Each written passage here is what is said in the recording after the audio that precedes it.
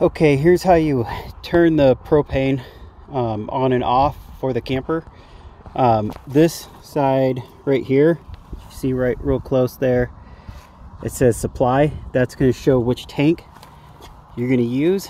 I think it's always best practice to leave one open and have one side open.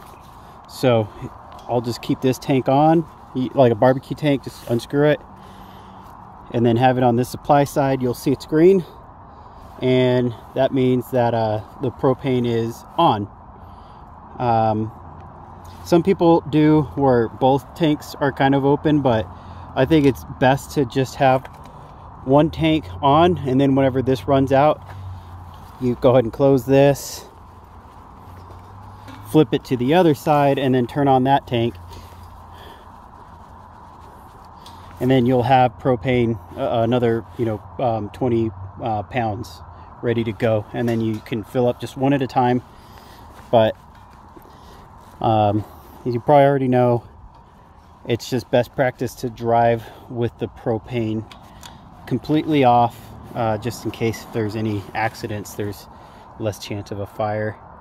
Um, once you get your propane on, your uh, it, it's best to purge the lines.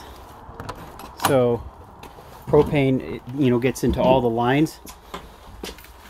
Um, and the way you do that is easiest way to do that is to go ahead and turn on the stove, you know, and just light it with a, a match. It might take a while because it takes a while for the propane to go through everything, but always uh, purge, you know, through the stove first, and then you can turn on the heater, um, and it'll turn on a lot faster. Otherwise, the uh, um, the the automatic pilot light on the heater will keep going on and off, taking a while. Um, it likes to have propane already in there, so it's just a little little uh, step one, or I guess step one is open the valve. Step two is you know turn off the stove.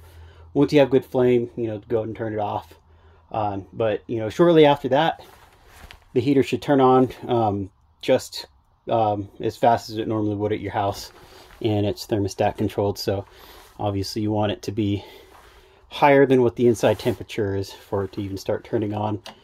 Uh, so the heater has automatic pilot. The water heater does not have an automatic pilot. You would have to go ahead and best way to do it is get one of those long uh, Bic lighters. And there's some instructions here on how to do it but you'd move it to pilot hold it down for a long time.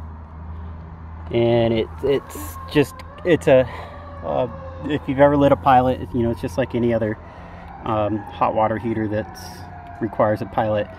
Um, you hold this for a long time and then while you keep holding it down, you'll you'll stick your lighter up into here and you'll light it. Um, not not too terribly difficult, uh, just not automatic.